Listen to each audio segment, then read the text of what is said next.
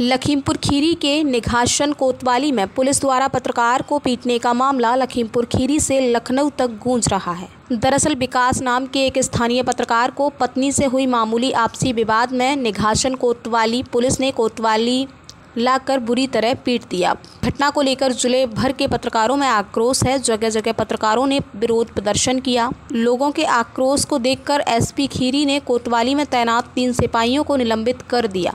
परंतु अभी तक पुलिस मामले में कोतवाली प्रभारी व क्राइम इंस्पेक्टर के खिलाफ कोई कार्रवाई नहीं की गई है, जिससे पत्रकारों का आक्रोश थमने का नाम नहीं ले रहा है। वहीं पलिया के पत्रकारों ने सड़कों पर निकलकर प्रदर्शन किया और फिर बाद में राज्यपाल को संबोधित ज्ञापन एसडीएम को सौंपा है। लखीमपुर जिला मुख्यालय में दर्जनों पत्रकार ने एसपी से मिलकर कार्रवाई की मांग की है। मामले में पूर्व आईपीएस अमिताभ ठाकुर ने भी पत्रकार को न्याय देने की आवाज़ उठाते हुए पत्रकार को पीटने वाले पुलिसकर्मियों पर एफआईआर दर्ज करने की मांग की है। अटल पत्रकार निघासन खीरी से हमारे साथ पुलिस ने जो है बड़ी अभद्रता के साथ पिटाई की और पति पत्नी का मामूली सा विवाद था, जिसको लेकर समझौता भी हो गया।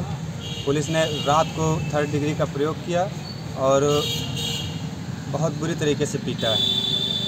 हम यह चाह रहे हैं कि हमारे साथ जो है न्याय की उम्मीद लगाए हैं माननीय मुख्यमंत्री योगी आदित्यनाथ जी से।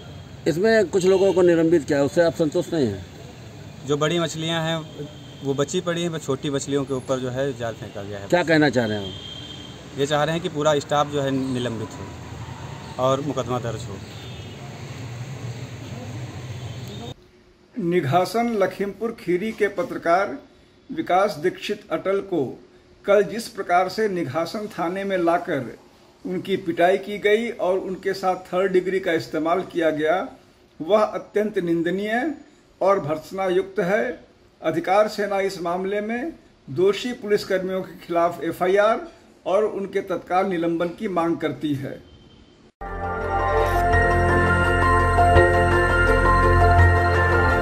देखते रहिए डीबी भारती समाचार नज़र हर खबर पर।